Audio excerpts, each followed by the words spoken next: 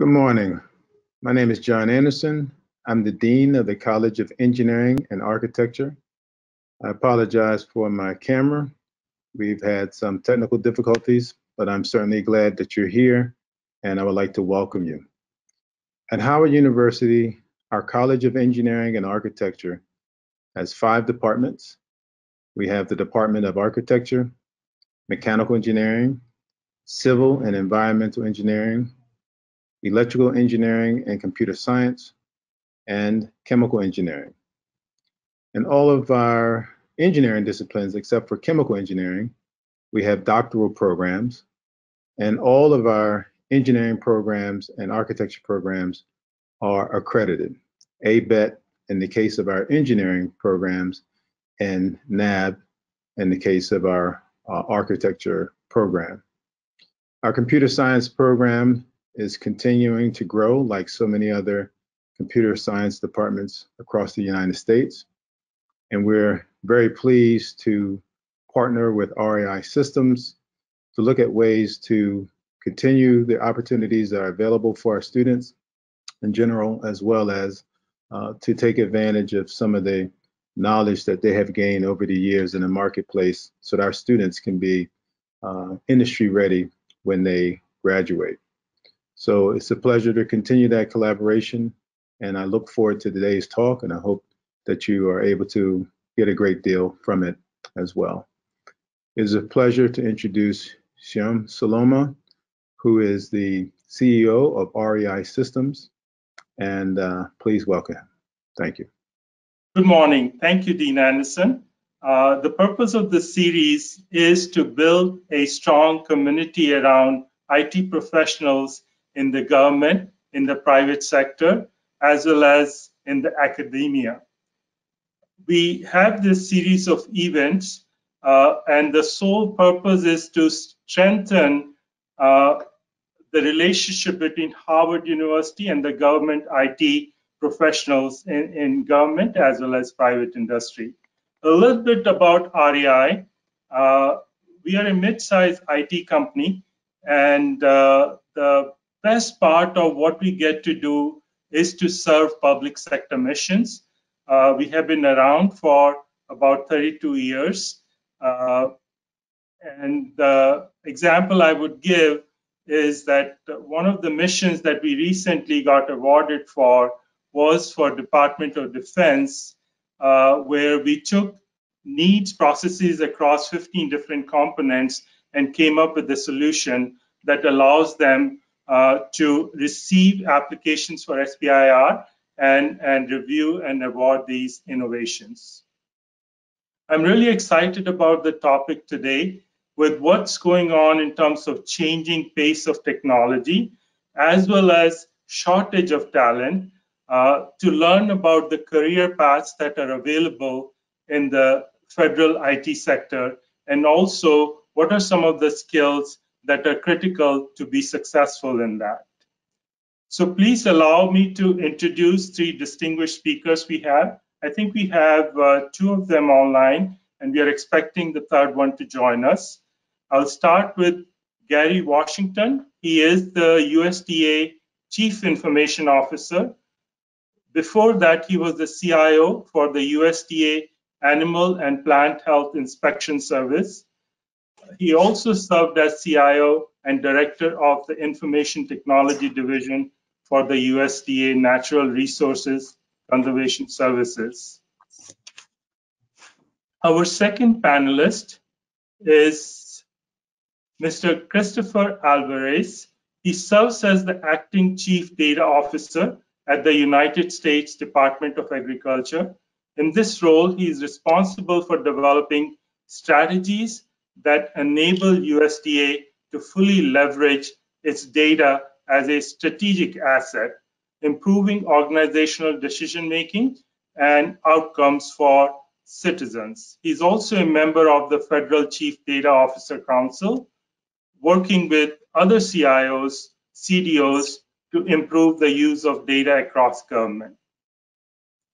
Our third speaker is Mr. Jeff Johnson. He's a member of the Senior Executive Service and Services at the Deputy Chief Information Officer for Business Management and Planning at the US Department of State, supporting a 2.7 billion global IT portfolio, servicing a 97,000 person workforce, operating in over 300 locations around the world. With that brief introduction, I want to ask uh, our panelists uh, to share their journey, their career path as they started their career uh, with our audience. Uh, and I want to point out when I looked at, there are about 125 folks registered for this webinar, uh, representing federal government, state and local government, academia, as well as uh, private sector. Mr. Washington, would you like to get us started on your journey and the career path that you experienced? Uh, thank you, Shyam, um, and thank uh, thanks for having me on this panel today. Yeah, I um I started my career journey uh, in my service in the United States Air Force in the military. Um, you know, I I started in IT uh, when they had things such as mainframes, and they just started out with um, these Zenith personal computers. Uh, so I spent 10 years in the military and, and, and learned a great deal about uh, information technology. Uh, after that, um, I spent five years in private industry, uh, taking on various roles in private industry, uh, anywhere from uh, IT support to program management in that arena. Uh, after that, I have had various roles uh, in IT throughout the federal government, whether it be the Bureau of Alcohol, Tobacco, and Firearms, Department of Treasury. Uh, I spent two years at the Department of Health and Human Services, uh, some time at uh, FDA. Um, I also spent um, two years at in the Office of Management and Budget, an executive office of the President, where I had the uh, Internal Efficiency and Effectiveness portfolio in the uh, Federal CIO's office. Uh, and all of that prepared me for the CIO opportunities that I've had that you mentioned in uh, NRCS, APHIS, and now I've been the, uh, the, the CIO of Department of Agriculture for the for the last five years. Um, there's really not many things that I haven't had an opportunity to take on uh, in IT in terms of uh, large projects or in terms of the level that uh, I've had to perform my duties. So, um, you know, I'm, I'm, excited about where we can go with IT as a as a country, and uh, you know, I look forward to the conversation today. Thank you, Mr. Alvarez. Do you want to go next? Sure. Good morning, everyone, and, and thanks for having me. Um, my journey to uh, where I'm at today is has been, uh, I think, one that's been a little bit uh, varied in approach. So uh, when I started uh, coming out of um, school at Johns Hopkins University, I was really interested in uh, science, biology, was looking to uh, a career in the medical field, um, and you know, really was kind of thinking along those lines, but very much from an, a science uh, and analytical perspective as well.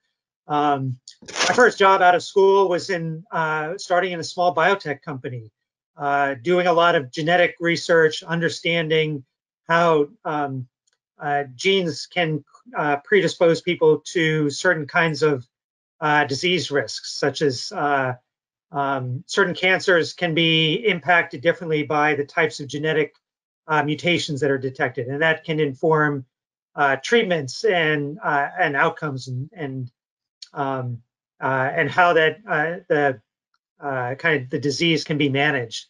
Uh, I was very involved in the labs. We were doing generating a lot of data about um, the various genetic variations that we see in, in different types of human diseases.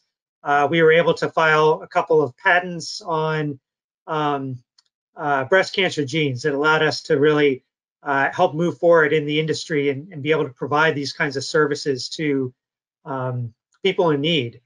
Uh, over time, that really uh, evolved a bit. You know, the biotech industry was really uh, exploding at that time. There were a lot of new opportunities um, and continued able to continue the work, uh, but shifted a bit. Uh, you know, because of the emerging technologies, I got very involved in things like data quality, quality control, uh, collecting data about our operations and how how to measure our um, performance and effectiveness. Uh, and that that led me to a, a, evolution in my career towards data and analytics. Uh, I had some really great mentors at uh, a company I was at that um, really encouraged me to get additional training on statistics and statistical programming. Um, got certificates in uh, advanced programming for SAS and and uh, used uh, several other uh, analytics tools as well, um, and evolved my career into a really an analytics one. Uh, became the director of analytics services for uh, the company I was at at the time, and was working directly with pharmaceutical companies who really wanted to understand how genetics can inform their drug development, but weren't you know weren't really experienced in analyzing gene information. They were looking for uh, specialists, uh, people with a lot of expertise who could do that. So I, I led an, an, analytics services uh, shop within this company. Um, we conducted a lot of genomic analyses, uh, looked at things like um, how drugs uh, were uh, effective or ineffective, potential drugs in treating diseases. Um, uh, and really built, a, I think, a, a pretty um, significant um, kind of impact with uh, these these analytics groups. Uh, but I, at this point, spent uh, about a dozen years in biotech. Um, uh, really liked what I was doing. Did fascinating work, but also saw an opportunity to uh, look beyond you know what I was doing today and start to explore some other opportunities. Uh, a, chance uh, opportunity came up at USDA. They were looking for a data analyst at the Food Safety and Inspection Service. Um, and I applied and got that position. Uh, and I think pretty quickly was able to, to have significant impacts and move up through the organization. Uh, I started as a branch chief uh, within about um, uh, six or seven years was director of uh, an analytics staff um, of about uh, 20 analysts, as well as a number of contractors as well.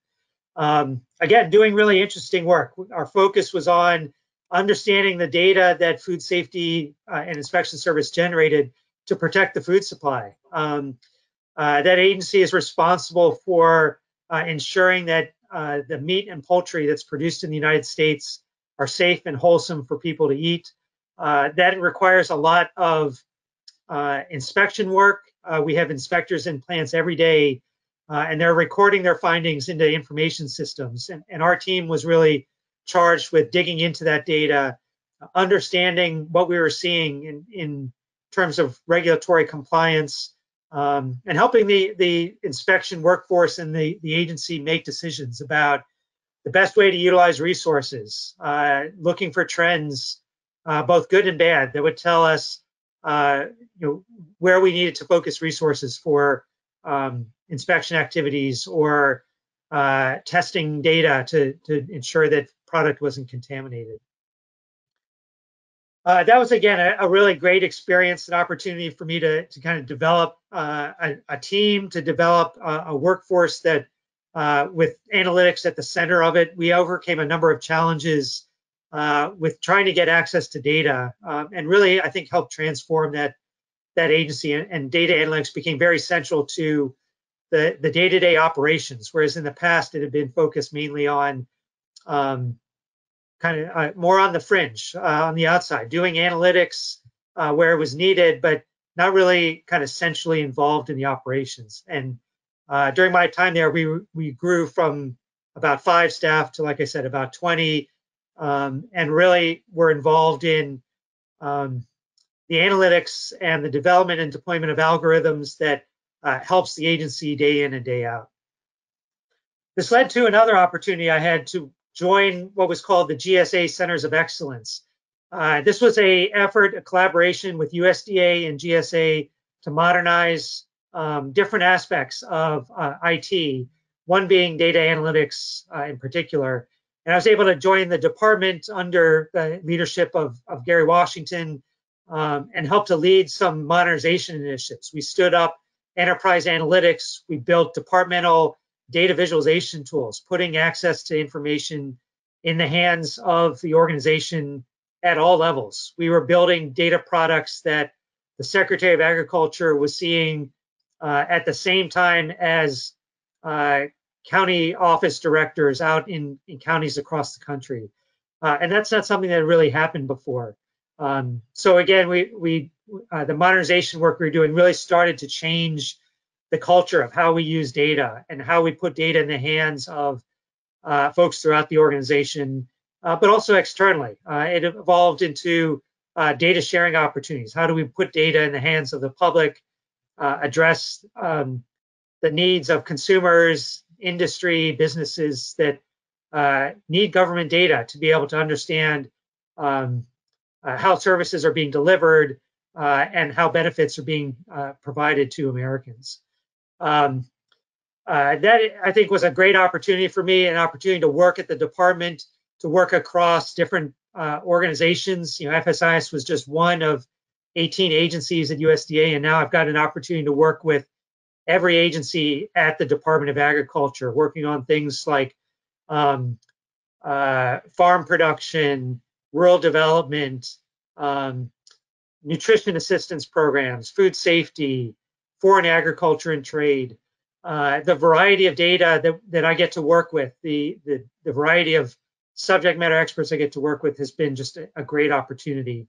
Uh, and I, have been able to do that and stay on in this role as uh, the Deputy Chief Data Officer and now Acting Chief Data Officer, uh, really helping to, to, identify technologies to help to grow the workforce uh, and expand the, the capabilities of the organization and do some analytics that has been challenging in the past. And I think that that sort of innovation and um, uh, modernization have been, uh, I think, really rewarding to me. I think really beneficial and impactful to the to the department, and um, you know, and and is what I'm doing today.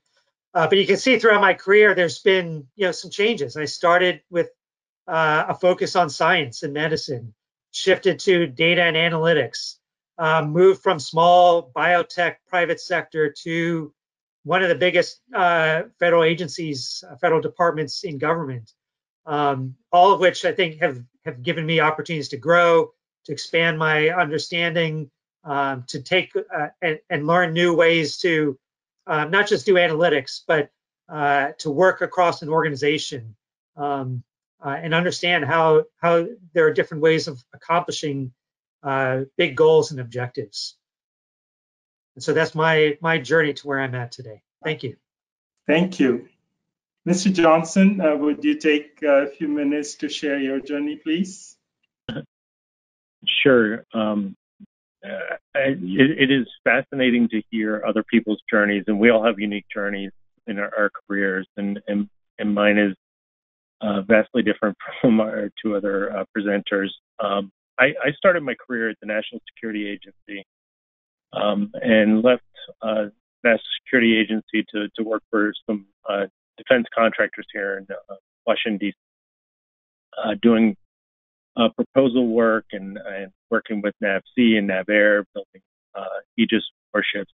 Um, after, and that, that, was in my early 20s, I was going to school at night, finishing up my, my degree, and um, and I didn't find it very rewarding. Um, and I started coaching basketball at the Boys and Girls Club of Washington D.C. And um, and from there, I I realized that uh, that I, I didn't enjoy what I was doing. There was no passion to the work that I was doing, uh, but I loved coaching and, and tutoring uh, these ten year olds. So I I I took time and uh, thought about it, and and then went and became a, a high school teacher.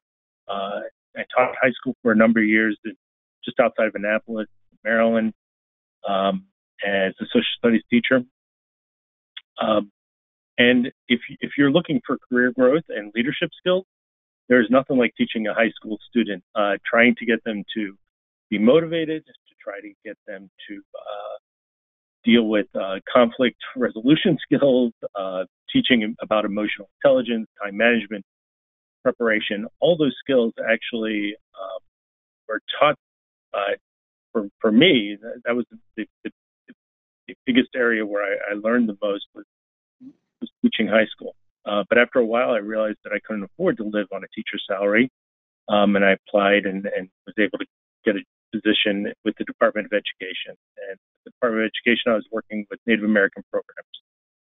Um, and within those programs, we were using cultural education to improve uh, academic uh, scores of, of, Native students around the nation, um, and also increasing our, our teacher retention and and, uh, and, creating a professional workforce for teachers uh, across the nation. Uh, one day, I was uh, sitting in, in, my cubicle talking to a colleague, complaining about the process, complaining about work that was being done and, and that it really had not much meaning. And my supervisor walked by and heard me. Uh, she pulled me aside and she said, uh, Jeff, uh, what are you going to do to improve things? You have responsibility as a public servant. Um, and that statement from her, uh, it drove the rest of my career uh, ever since then. What are you going to do to make things better? Um, we all have a span of control. And from that, uh, I was able to take uh, a national assessment um, and create uh, data for uh, these programs, these cultural programs, to show that cultural education does improve academic scores of students and increases graduation rate. Um, and that was a really powerful feeling to feel that I was making a difference, and that not only was uh, the Hill looking at this data, but local communities were using that data to improve their programs, their educational programs. Uh, from there, I went and, and, uh, and worked for OMB for a short period, and uh, and then I came to the Department of State to work in uh, our Educational and Cultural Affairs program, uh, which is the Fulbright program uh, that many of you may be familiar with, um, and working with cultural exchanges of, of, people from around the world coming to the United States. Um, tap on the shoulder and that to to lead the grants um, work across the Department of State. Um, again, utilizing data, utilizing systems to drive that um, improvement to the way that we're doing our work. Um, there I went to HHS, uh, Health and Human Services, uh, leading the grant uh, portfolio at HHS, and uh, and most recently I came back to the Department of State. The draw to the international affairs community uh, is strong, um, and uh, I find this to be rewarding work. I came back here to work for what's called the Office of the Inspector General, uh, leading our inspections of uh, embassies and consulates around the world to determine uh, their operational effectiveness and efficiency. So we look at everything from security of the post to the IT infrastructure of the post to um, whether we're actually getting across our foreign uh, policies uh, in, in, an appropriate and efficient manner.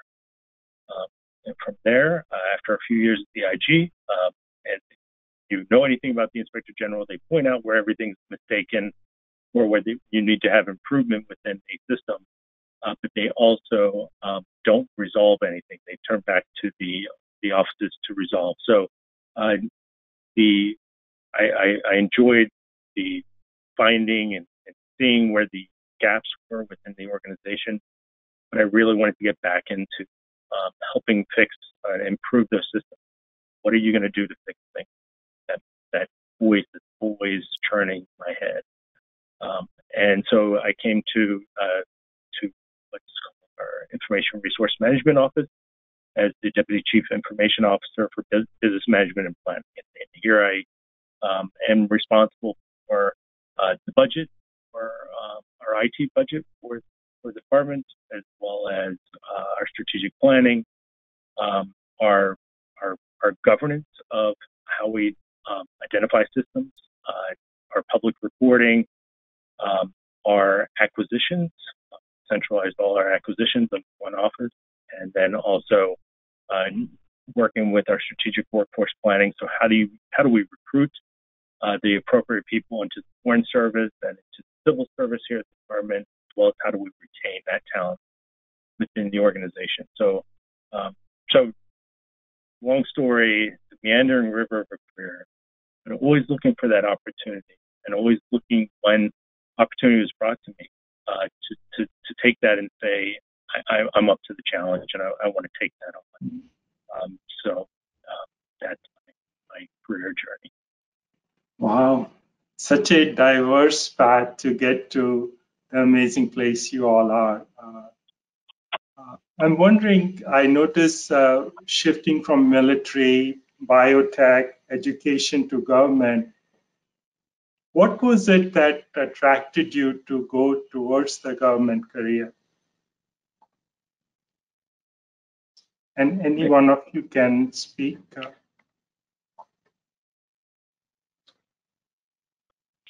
I, I will go, Shyam. I, I think um, what what attracted me to uh, government work is, um, you know, being a public servant um, was important to me because you know I like public service. But in addition to that, the opportunities, the diverse opportunities that uh, and the challenges that were presented uh, moving forward. Um, you know, even in the Department of Agriculture, you know, we have over 114,000 uh, customers that we support, and many, many, many um, diverse uh, activities that go on. Um, you know, both domestically and internationally. So, you know, there is no shortage of opportunities to grow as a information technology professional uh, in USDA.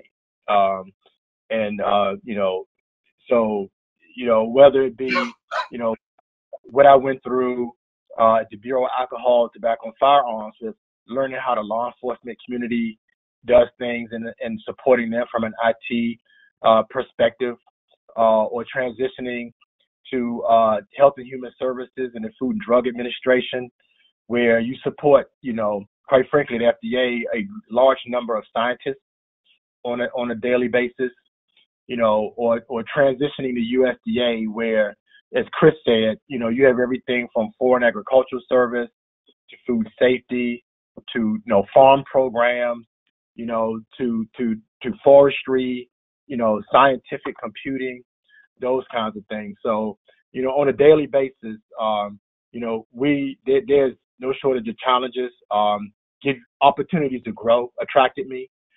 You know, and, and just learning new things about you know what we how we support people uh, as as a, as a government, you know, and how we support this country. Yeah, this is Chris. I, I think um, you know when I first joined the government, it, it really wasn't a um, sort of an intentional move on my part. I, I, was looking for a change. You know, I'd been working in uh, like small biotech for uh, over a dozen years, and really thought, you know, I was at a point in my career where I thought, you know, this is a good opportunity to try something pretty different from what I'm doing uh, today. And and you know, USDA and working for the government is was a pretty big change. You know, going from a, small company of you know less than 100 people to uh, a federal agency of uh, at times over 100,000 people is a pretty uh, significant change. Uh, and one of the ones that I think you know I, I was looking for that kind of challenge. I was looking for um, kind of a new uh, kind of direction to to maybe to apply my skills in. So still very interested in data and analytics, um, but wanted to get some breadth of scope and experience.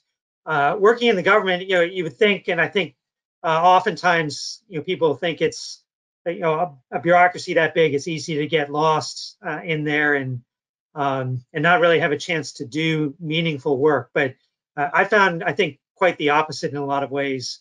Um, when you think about the food supply uh, and the work that USDA does, it impacts every American um, uh, every day. And you know, and when you think about how how much of the USDA food goes abroad, uh, the global impact is is really significant as well.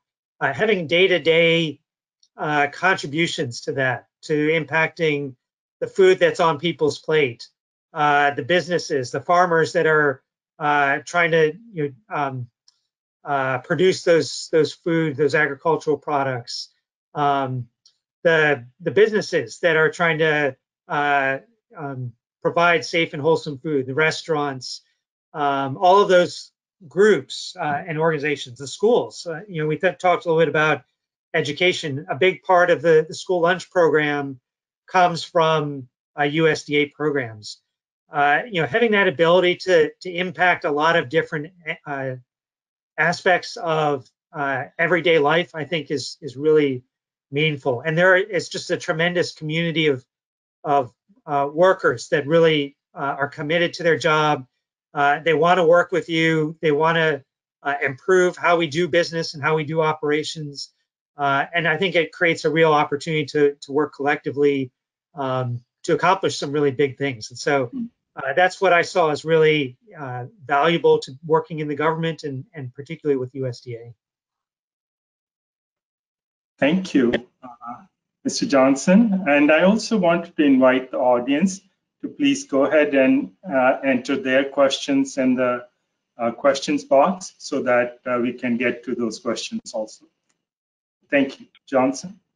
Sure, and I, I think I, am just building on, on, what Gary and Chris have stated. Uh, it, it's that public service that, that, was important to me to be able to find a way to to be able to give to my community, uh, to to to to everyone across the nation. So, uh, being involved in uh, in local government uh, supporting, but also the supports for uh, for national level approaches, um, and to be able to see that you can make a difference in in a local mm-hmm. community through the assistance um, and support of, of the federal government.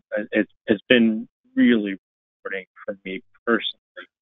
Um, so uh, the the and the the quality of people that you meet um, across the federal government is is is amazing. Uh, the, the dedication people provide, give to their positions and to the, to the programs they're supporting is by far um, by far no other industry that I've seen gives the way that federal workers give for the betterment of their fellow citizens, um, the supports for their fellow citizens. Uh, there is tremendous opportunity. Uh, you can grow in different directions. My career is uh, an example of that, where you can uh, try different avenues, try different approaches uh, to to make that that difference and, and really have an impact on on our fellow citizens. So um, I, it, it is all about the, the public service and supports.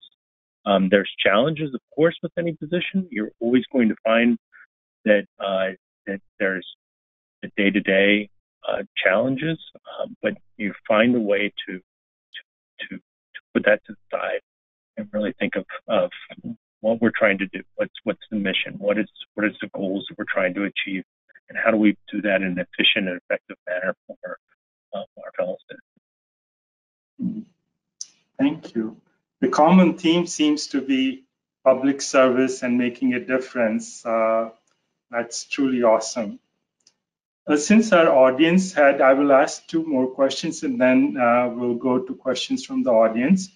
Uh, since we have folks who are in the government, state and local, federal already, and also from the academia, my first question is, what advice would you give to students who are just graduating uh, based on your experience and uh, reflection? Mr. Johnson, do you want to start? sure, let's go the, the opposite way this time. Um, uh, so, advice for someone starting off is is is getting your foot in the door uh, 1st mm-hmm. um, and whether that's as a contractor or in, in federal services, getting your foot in the door and know that every day is a learning experience. Uh, every opportunity that's put in front of you is a learning opportunity. I'm sure I'm not alone that I've had horrible bosses. I've had struggling programs. I've had um, times when we weren't financed appropriately. We, we didn't receive the budget we expected. We were understaffed. All of those were learning experiences that you bring forward as you're moving forward in your career that you can you learn from and grow from. So just continuing that mindset that this is not the end of my journey. This is a part of my journey. This is who I am becoming as a person and, and really getting to know and understand your core values. Don't just accept any position that comes your way. Think about your core values. When you get into a position, know that you you are in control of your destiny. Uh, Nobody can tell you where you are going to go with your career. Um, so don't feel empowered all the time. Uh, you can continue moving forward. Um, if you have a, a boss that is uh, that is overly demanding, doesn't give you information, think about all those things uh, that you're learning from them that you want to change when you become the boss. Uh, one of the things that I've learned is uh, I didn't like non-communication. So communication has become a really important thing to have overly, overly, overly communicate what the goals and missions are, and have that uh, that sense of belonging for staff and making everyone feel they're part of an integrated team uh, with achieving whatever mission. Hmm. Nice, thank you.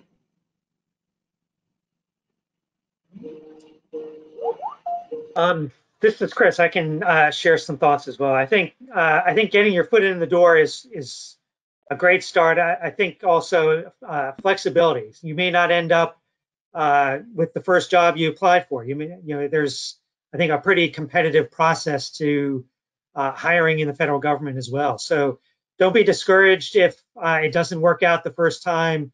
I would say you know keep driving towards it.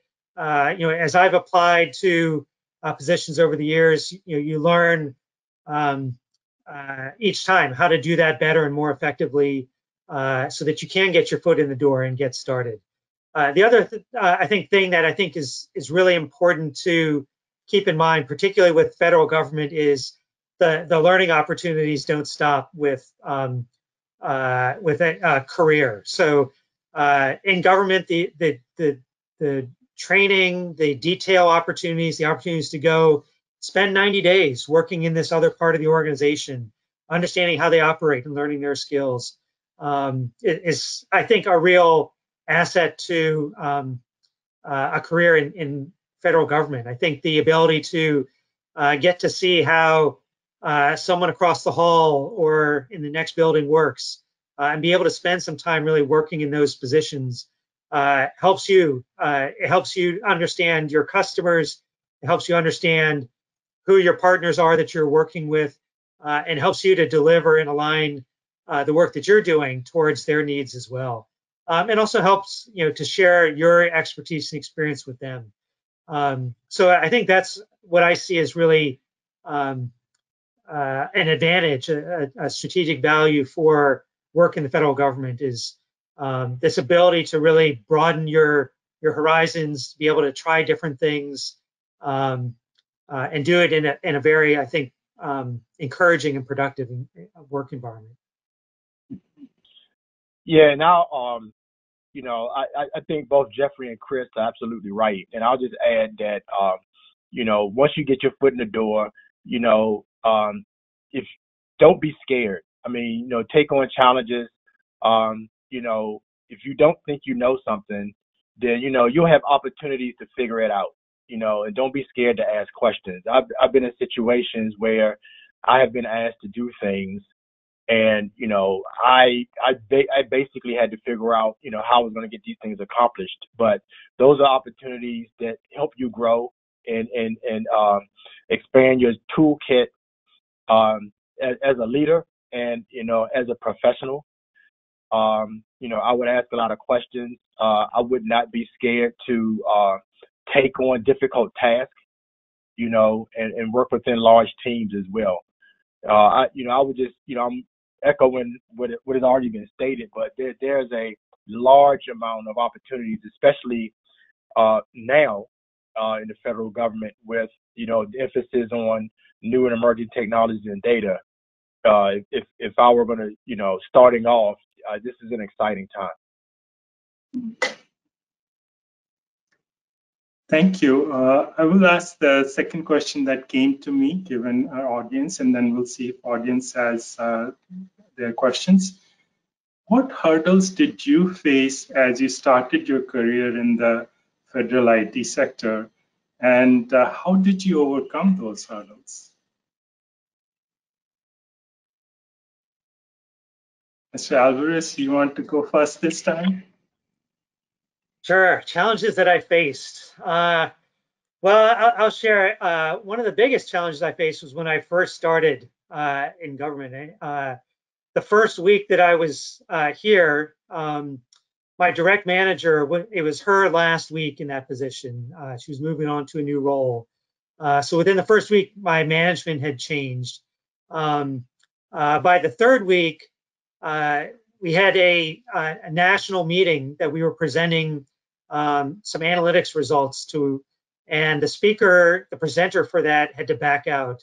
Uh, and I got asked uh, at the last minute to um, come speak at this national meeting uh, with press, uh, the Secretary of Agriculture, industry trade groups, um, you know, still learning things about uh, meat production that uh, were fundamental, you know, the basics, the 101 of um, of the Food Safety Inspection Service it was challenging, and I was, uh, you know, really trying to learn things as quickly as possible. I was working um, tremendous amount of hours just to understand the subject matter uh, here till um, at, at, times 10 or 11 o'clock uh, before I would go home.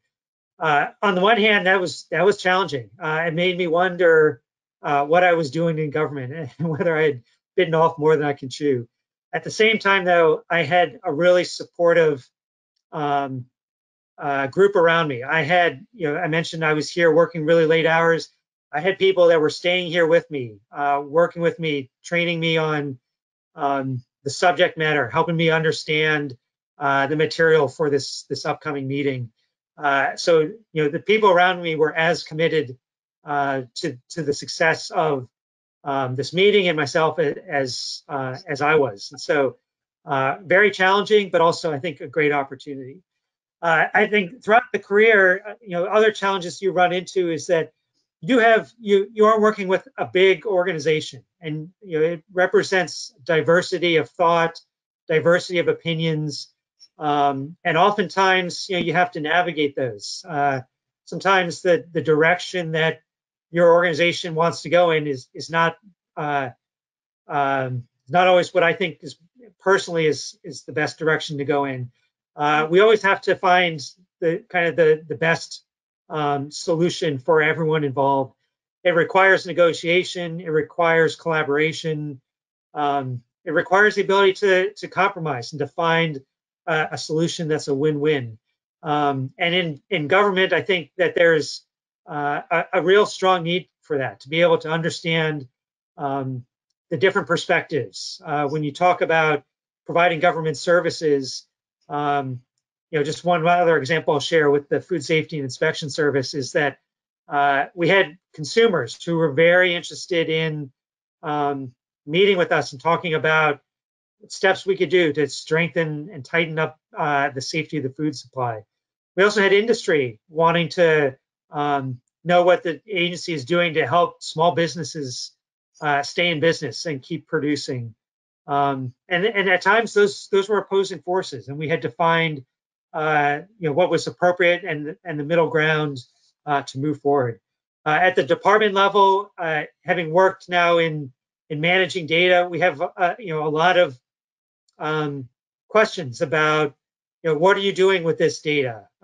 this is my data. I, you know I don't want to give it to someone else. When in reality, uh, most of the data we have is data that belongs to the entire department and to uh, the people through uh, FOIA requests. Uh, nearly all the data that USDA has is uh, is shareable to the general public, uh, helping to, to, really manage those expectations um, and and utilize our data for the benefit of broader audiences really has been at times a challenge, but at times also a great success when we've been able to move forward.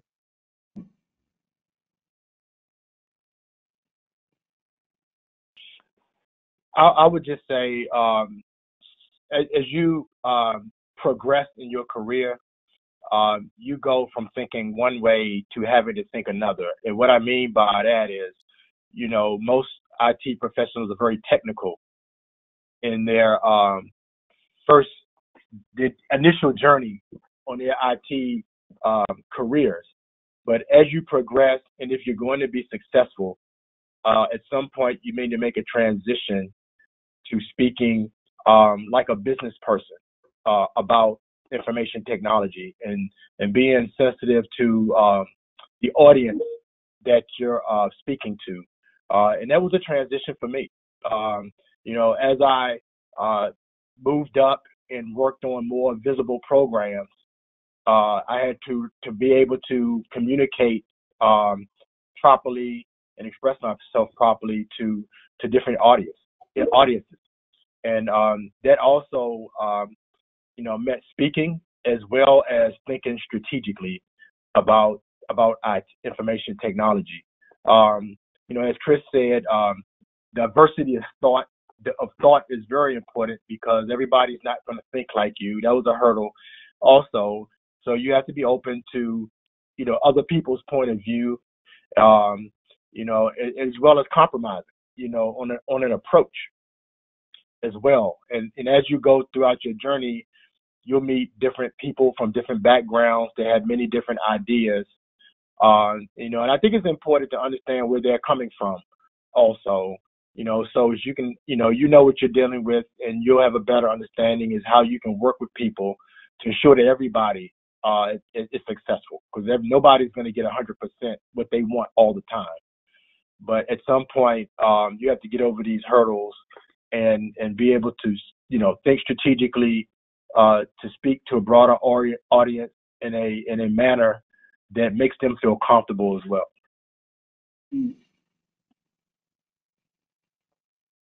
Thank you.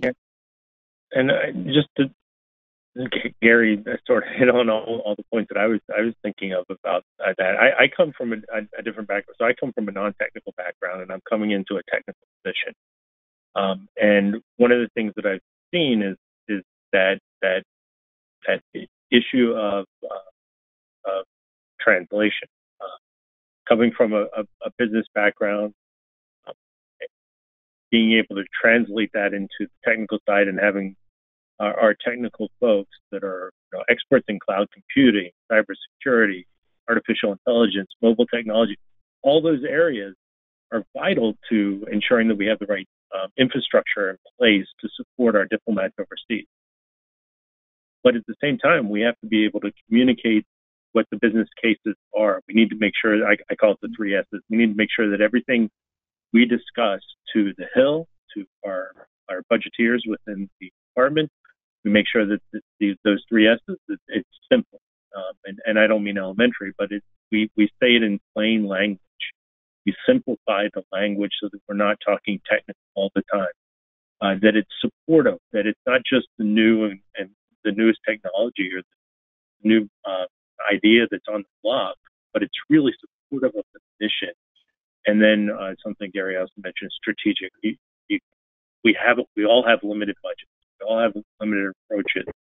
Um, so how can we strategically apply it so that we're meeting the mission, um, getting the best value for our dollars, and being on the cutting edge of that technology? So uh, having that interpreter uh, to go between uh, the, the technologist, the budgeteer, the, the data analyst uh, is really a, a, vital role that I, I, found myself playing more in. Um, we all are uh, involved in technology. I, we, as far as the Department of State goes, and I think every federal agency, we can't do our job without technology. You need to have outlets. You need to have teams. You need to have these analytical be able to break down large amounts of data to say what you, what services you're providing and meeting the mission of the of the department. So, how do you do that in such a way that's efficient, that's effective, and that we all are understanding what that is and, and driving towards that that ultimate goal? So, um, one of the biggest challenges uh, I've seen is is just that interpret and interpreting the data, and also for IT professionals, what I've seen also is is uh, the focus on the their expertise in there, and um, and we don't build enough about those soft skills that, that you need in order to become um, to to to move into leadership positions. The soft skills, problem solving, critical thinking, interpersonal skills. Um, how do you how do you build that critical, creative, innovative mindset um, but still keep that technical side and not always go to the technical side when that's your that's your your safe area. Mm. Yep, uh, it makes a lot of sense. You know, as technical people, we start off our career focused on technology, but the things that you all mentioned around the soft skills, the flexibility, looking at the business aspects of it, communication skills are so critical for your success. Uh, Jeff, uh, if you have any questions from the audience, can you please uh, share that with the panel? Sure. Uh, Margaret Johnson had a question for a person who's in the middle of their career in the private sector, in particular in health, and is interested in uh, federal opportunities. Where can someone who's kind of mid-career jump in and make a contribution uh, if they have IT experience in a relevant domain in the private sector?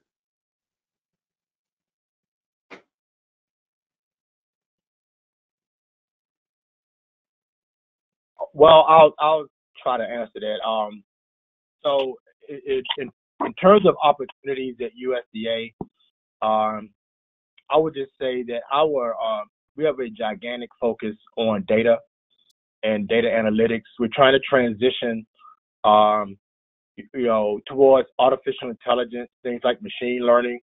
Uh, I think any professional, um, you know, given given the uh, given the focus on data across the federal government, I think that would be a very exciting uh, career field for uh, someone to to step, you know, to to to think about. Um, in addition to that, uh, cybersecurity is um, there's no shortage of opportunities in cybersecurity.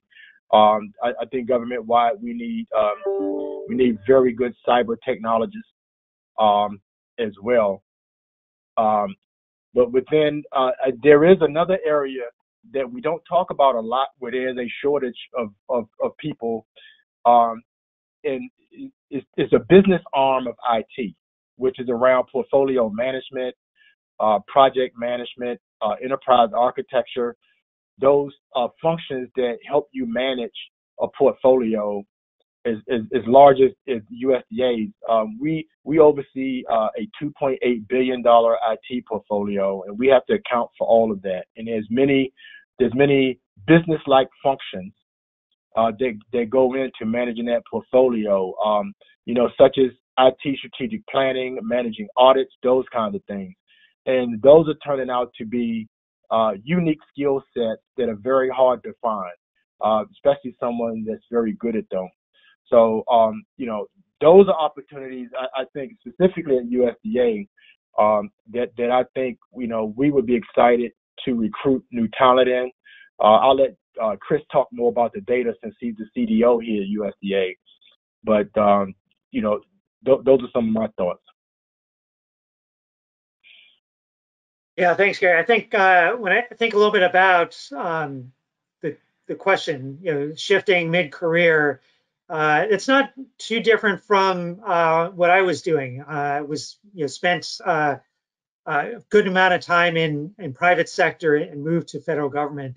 I think one thing that um, uh, is important to think about there is is what what strengths, what assets or strategic or skills do you bring um, that are that maybe don't exist in the government today. I think oftentimes you know, private sector industry tends to be uh, a bit ahead of the government in terms of adopting some of the uh, cutting edge technologies, um, new initiatives and such. And so there may be experiences that you're bringing from the private sector that are valuable to government. Um, you know, as Gary said, there's there is a move towards adopting some of these new technologies, cloud, uh, cloud computing, uh, artificial intelligence, machine learning, um, big data analytics uh, geospatial analytics in, in, in even bigger ways than we've done in the past.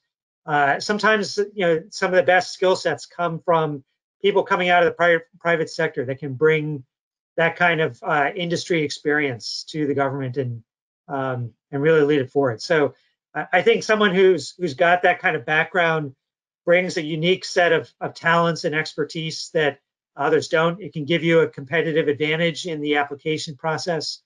Um, Uh, and I would just, I would encourage you to, to sort of look at what you're doing and think about um, how it's uh, maybe above and beyond or different from uh, what you see in government today.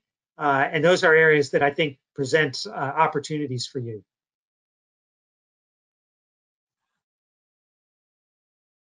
Yeah, and, and I, I, I couldn't agree with Chris on,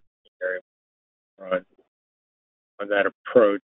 Um, I, I also think the you, you're going to be spreading the, the, the net pretty wide. So you're going to be utilizing USA Jobs. Um, you're going to be looking at uh, agencies that that really um, connect with you um, and connect to the mission. Uh, uh, and so taking that that broad look is important, uh, but also not being too narrow in your focus. There's plenty of opportunity across various sectors within um, within federal agencies in order to get employed. I think portfolio management that Gary mentioned is, is, absolutely vital and, and, and, and, an area that we need to strengthen uh, within government. So uh, there's plenty of uh, positions available across that, um, and then there's the more technical cyber, cybersecurity areas uh, where there's needs for that. So um, be sure to attend uh, any any conferences. The conferences are more online nowadays. You can uh, make connections there. Uh, just use all the resources you have. Um, one thing that I, I found is that it's really important. We, we sometimes forget the network of, of professionals we know around us. Um, even if uh, professionals and neighbors, uh, sometimes your your your neighborhood, you, you, you just walk in the dogs and uh, you strike up a conversation and, and you'll find uh, that that you have something in common or or they they're aware of something that um, that may be uh, strike you as an opportunity. So, um, you know, uh, be sure to utilize those networks uh, to support uh, your job search. Um, keep looking at USA Jobs. Look at all the um, look at all the specifics of your USA job uh, announcement. Uh, make sure that you follow that the description and and what they're looking for. all that that approach that they've they've outlined complete all the forms, um, and really tailor your messaging to uh, to that specific job announcement. Um, and that, so that, that's all the advice I have. Thank you. Jeff, is there any other question from the audience? Uh, then I had uh, one or two more questions for the panelists. Why don't you go with one of yours, Shyam, and then I'll, I'll find out the next one that looks like it's not duplicative. Okay. So you all mentioned uh, several fields like uh, cybersecurity, data analytics, AI, importance of the soft skills. But sometimes I wonder with the pace that technology is changing over the next 10 years, uh, you know, the importance of the soft skills, analytical flexibility, that's always there. But are there some specific areas in addition to what you mentioned to get your foot in the door uh, uh, and be engaged with the career in, in federal IT. What skills would you say are the most important?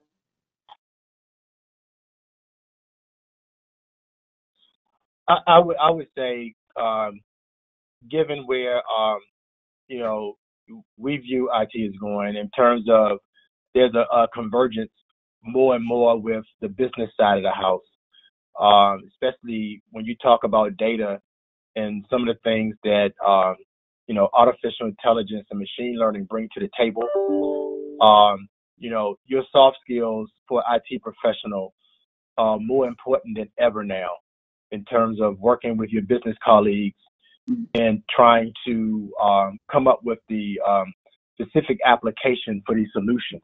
Um, you know, you need to be able to speak in a language that they understand um, and identify and speak to them clearly about the benefits of what you're trying to achieve, um, you know, and what it's going to take to get you where you need to be. Um, you know, I, I really don't think, especially at a more junior level, it's becoming imperative that you be able to have an analytical mindset uh, in, in terms of what you do um, and be able to think creatively uh, about, you know, implementing uh, these uh, new new new approaches to delivering solutions.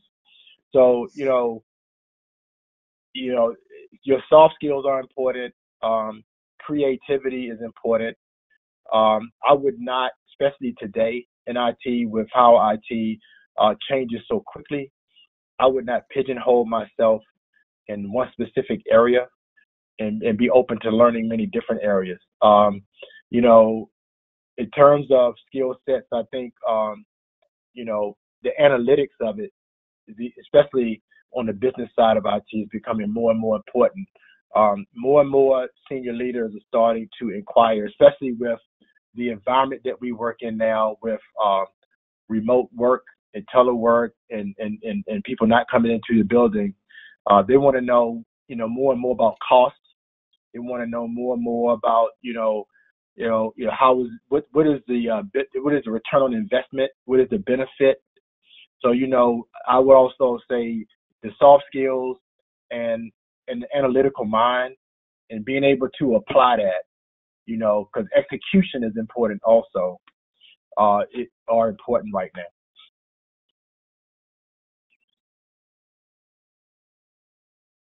I think uh, this is Chris. Just to build upon that a little bit, I think the um, you know when we talk about the the ability to communicate and to be able to um, get your point across to uh, oftentimes non-technical folks, um, you know, I think that applies not just to kind of how you speak and how you talk about the work that you're doing, um, but also in the data products themselves. Uh, some of the most impactful things we've done uh, as far as putting information in the hands of our senior leadership and managers has been uh, very visual, interactive tools, things like dashboards, uh, maps. Um, uh, you know, we're moving away, I think, generally from table tabular reports. Uh, you know, it's one thing to be able to create a table uh, doing through your analysis or to, to calculate a, a p-value and, and tell someone whether a difference is significant or not. But being able to, to illustrate that um, graphically and visually, I think is going to be uh, a real strong uh, skill set that uh, will will kind of set you up for uh, a good career in the future. Um, I think there's a greater shift towards uh, citizen science types of of initiatives. Um, so having a uh, capability with you know Python or R some of these, I, I think, analytics tools that are, are taught pretty commonly in, in universities today um, are a bit of a gap in the federal government. Uh, and so some of the best, you know, natural language processing, text mining algorithms, uh, geospatial algorithms are in, are being built in some of these tools that uh, are not as easy for um, uh, government to implement without uh, the right kinds of skill sets and, and bringing in some uh, some new workforce that really understands how to work with these these kinds of programs and tools, uh, how to apply new technologies, how to work with big data, how to do analytics using cloud technologies. Uh, those kinds of skill sets are, uh, I think, still uh, evolving and emerging emerging within the government. And so, I think those are areas to focus on. Um, but again, I think you know a, a broad uh, uh, set of capabilities, the ability to to learn new things, uh, I think is going to be important to be able to stay uh, fresh and and uh, uh, contributing to the organizations. We've got um, just too many examples where we're running on the same technology that was brand new 30 years ago or so, and um, you know technology is evolving too quick for us to to kind of be able to rest on that kind of capability going forward or technology. So uh, we need to be able to evolve. We need folks who can stay abreast of the latest technologies, um, take advantage of some of these new uh, uh, tools that are out there for visualizing data or applying um, open source tools, algorithms uh, that the government can take advantage of and be able to use in their day-to-day -day work. and at the Department of State, we have, we have uh, two tracks into the Department of State. One, one is civil service, um, more traditional IT shops for um, expertise in cloud computing and and, uh, and cybersecurity and engineering.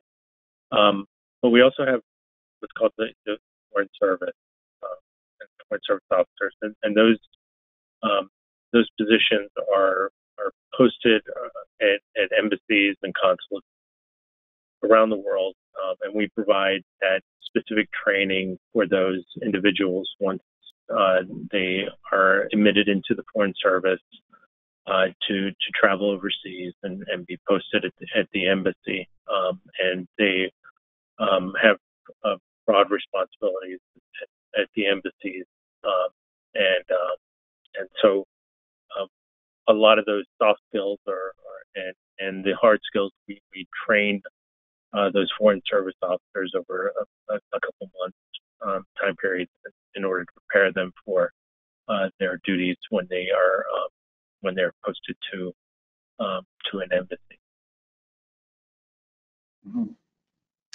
Thank you. Jeff, any question from the audience that you have? Yeah, there was one other uh, from Gene who says essentially, do you see a significant change in the federal IT workforce with the possibility of remote work, you know, kind of the post-pandemic era?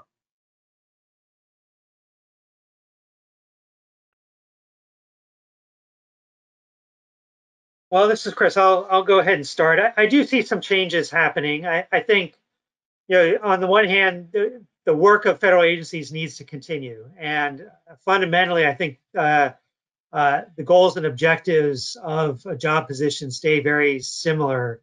Um, at the same time, though, remote work has uh, has changed at times how we go about doing that. Uh, when I think about analytics, even 10 years ago, a lot of the, the analytics work that um, analysts were doing in federal government was on laptops, uh, which means if you're if you're not in the office, you're you're pulling data over the networks. You're trying to do um, analytics on uh, laptops that, that, generally aren't sized or, or, or designed for analytics. Um, so I think this this remote work uh, environment that the, the pandemic has really I think accelerated um, it's led to, to you know, needs to be able to do this work on um, you know cloud infrastructure to to not have to kind of um, have the the applications or the data on your local machine where you're working or where you're remotely uh, located. So uh, I think there's a real advantage to being able to work in these environments. Um, you know, it accelerates the the productivity of, of the workforce. Um, uh, it provides for greater security of data and, and the work that we're doing. Uh, so I see those as areas where this remote workforce has, has started to shift how we utilize uh, IT in the organization. Um, just taking advantage of uh, uh, like enterprise tools, tools that are uh, more at the server level, the cloud computing level, um, is becoming a, a, greater need across the organization, uh, and and analysts are having to shift in that direction. Uh, so it's a it's a transition for all of us. There was one more question that I thought might be interesting both to you and to the audience members. Audience member asks, not quite in so many words, I'm kind of looking for a job. You all hiring? Um, this is Gary Washington. Let me say this. Uh, yes, uh, we are hiring, um, and we are hiring for um, you know our skill sets, people who want to learn new skill sets for our future. Um, as, as Chris said, you know, you know, just like any other government agency, um, we do have old technology, but we're working through that. Um, but uh, you know, you know, like we said before, you know, a big um, the big focus for us is data, obviously, cybersecurity, and uh, how we manage our business of IT. Uh, really um, is, is, is, is, is a great focus of ours, and we are looking to modernize the skill sets of our IT workforce. So uh, we are we are hiring, and there's many opportunities across many diverse missions at USDA. So uh, again, there, there's no shortage of learning opportunities. Yeah, I, I would echo that. I think uh, uh, data analytics and IT are um, just critical jobs in the government. Um, just in the past, uh, I think a couple of months, uh, Office of Personnel Management uh, released some new job series around data scientists. So one thing I would recommend is go and, and look at that data scientist job series. Look at what the expectations are uh, for those kinds of positions, uh, and look at where your skill sets align to that. Um, and then you know take advantage of some of the the features of USA Jobs. You can create alerts that notify you when positions get announced. Um, uh, and so you get that uh, in your inbox as as those positions come out. Uh, there was a really interesting hiring event uh, last year with with data science. It was government wide where um, uh, we uh, you know a number of agencies needed to hire data analysts and data scientists, and the General Services Administration facilitated a government-wide hiring activity where um, where we got several hundred, I think close to 400 applicants uh, and over 100 people hired off of those uh, at different federal agencies. It was really, in some ways, a different approach than more traditional uh, hiring practices in the government, uh, but also an example of where we're looking for uh, novel approaches and novel ways to fill um, uh, particular needs broadly across the organization. We've done similar ones with customer experience as well. Um, so look for those broad opportunities, those government-wide announcements. But I'd say, you know, look at what some of these jobs are, are looking for as skills, and um, keep an eye out on on USA Jobs as uh, these announcements come out. Yeah, in Department of State, we're hiring uh, also, and uh, in, in in two tracks: the the civil service, which would be on USA Jobs, as well as the Foreign Service. In that process USA jobs. Uh, they are uh, they they both are. Um, we're trying to become more efficient in the way that we're hiring, uh, and, it, and try to reduce the amount of time that it takes from the um, from the time you apply uh, to the time you are uh, onboarding. Uh, one of the challenges we have is uh, security clearances, uh, so that can uh, create a, a, time lag for new employees coming on board. Um, so you should take that into consideration if you're looking to apply for the jobs. But it's um, it's a unique agency. We cover um, various missions from clean oceans to democracy building to educational cultural exchanges to to uh, political and economic uh, improvements across across the world. So um, it's it's a it's a it's a great opportunity to work for a wonderful agency that has a it is the oldest uh, cabinet level agency, um, but uh, the, the process all begins with the day job. Shyam, there was one more interesting question, perhaps the last from the audience, then you can ask one as well. Um, and this one was uh, maybe playing a little bit more hardball, uh, keeping in mind that probably 30 or 40% of the folks who registered for this session are employees of the federal government.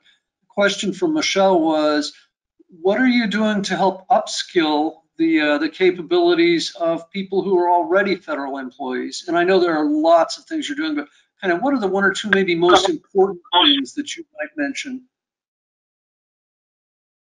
Yeah, um, in, in USDA, um, we've had many programs to um, upskill our current employees. Um, we uh, put on uh, two or three different sessions to train employees on robotic process automation.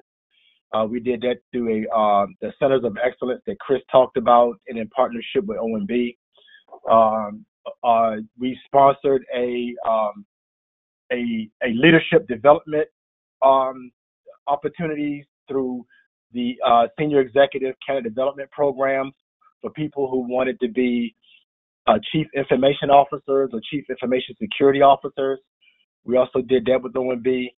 Um, you know, we have virtual training online uh, that people take advantage of. Um, we we have uh, trainings in um, you know data that Chris mentioned. Uh, you know, because I work with the federal, I'm on the Federal CIO Council, and I'm on the IT Working Group Subcommittee, and there are many different uh, opportunities that we provide our employees, specifically in USDA, with um, to upskill them and ensure that they're in a situation where they can be productive and prepared for the future. Um, but I will say this um, in regards to that, um, you know, it's, it's, up to the individual to take advantage of these opportunities. So we try to give everybody an opportunity to uh, come along with us on this journey, you know, in terms of where we're going in the future.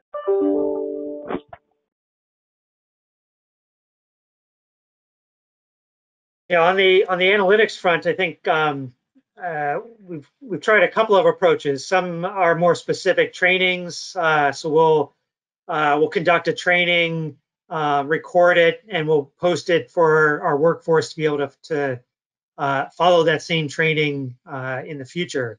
We've also been able to to um, give people opportunities to keep those skills fresh. So we've done some competitions, some kind of hackathon style uh, events where we take a uh, a data set from USDA um, and we ask people to, to, show us how you would visualize this data. Um, it gives folks an opportunity to partner with maybe more experienced uh, folks. It gets gives them the opportunity to uh, showcase some of their skills and, and, learn from their colleagues and partners.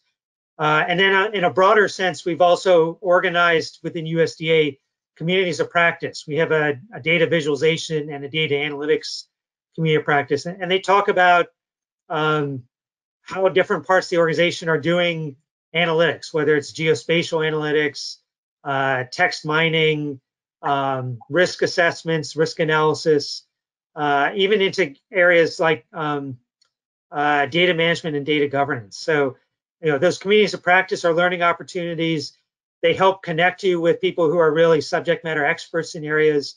Uh, and that gives you, I think, some of those network connections that we talked about earlier, um, opportunities to reach out and, and learn from some of that. We're also trying to promote things like code sharing um, uh, so that you know someone who, who writes some uh, code to do a particular task can share that with other parts of the organization. So all these are, you know, they're not necessarily ones that require a like a formal classroom uh, style training like we might think about in the past, but um, you know, opportunities to collaborate, to work collectively, to learn from each other, uh, to share knowledge, I think are uh, are some really good training opportunities and development opportunities that, that we've tried to promote at USDA. Yeah, and at the department of state, uh, we have some similar programs. We have communities of practice. Uh, we try to bring together uh, people within uh, like minds to to learn and, and, support each other and share best practices across the organization. We also are, are, are unique in that we have a an institute called the Foreign Service Institute, and that is our um, that is our driving educational uh, arm of the department. Um, and and there we um, we give all workers within the department uh, a, clear avenue for for skill development uh, within the organization um, and we recruit trainers for that. And we have a, a so the the Foreign Service Institute is broken into different schools. There's um, there's sort of a management side, contracting, and that sort of stuff. We have language services where people are learning uh, different language skills when they go overseas. Um, but we also have a technology uh, branch uh, and school that, that teaches all, all the uh, new emerging technologies, data skills, uh, that are required in order to perform our jobs, but also to enhance our, our jobs and, and, move us to that cutting edge or over the horizon um, areas that we, we need to be moving towards as, as an organization. Great. Uh, being respectful of the time, I know we have only three, four minutes left. Uh, I wanted to see if Dean Anderson would uh, uh, close uh, this session. Uh, I just want to thank you all for taking your precious time. Your insights have been very helpful, especially for people who strive to get into the federal IT game and be successful like you all have been. so thanks a lot for your time. Dean Anderson, would you like to close the session? Certainly, thank you. And uh, I'd like to echo uh, comments and that we're very appreciative for the time that you have taken and for the information that you've shared.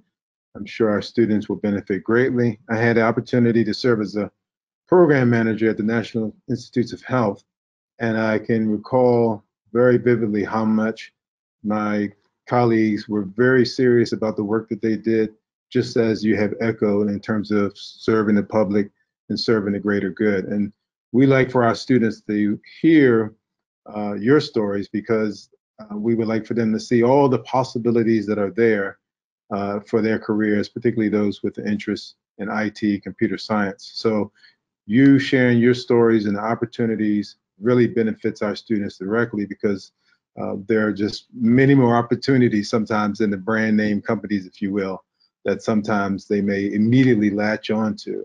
And in these careers can be extremely rewarding, interesting, and uh, beneficial. So we appreciate it, Mr. Washington, Mr. Alvarez, and Mr. Johnson for your time. And um, uh, we hope our students are uh, benefit as much as I think they will. So thank you. May I you. say two or three things just to quickly wrap up? First, each of our panelists, thank you. Our panelists have kindly agreed that if the audience would like, they may submit questions. REI will send out a, uh, an email that says thank you for participating. You can submit your questions back to REI. We will pass them on to the panelists who can respond to you directly if they choose and are able to, or it may be that they need to pass the question along to one of their colleagues. Um, Second, we would like to invite you to suggest topics for future government IT breakfast forum events. Uh, the topic here was pretty clear. It was kind of what are career paths and opportunities and what skills are needed. But we're interested in what the audience, both students as well as government IT professionals, is interested in hearing about. Uh, and last, uh, just a separate plug on March 10th in about uh, two weeks, uh, REI Systems and George Washington University will host a grants management breakfast forum with the results of our annual grants survey. So those of you who are interested in government grants uh, are certainly welcome to tune into that. And again, you can contact REI Systems for that. Thank you. Thank you. Thank you.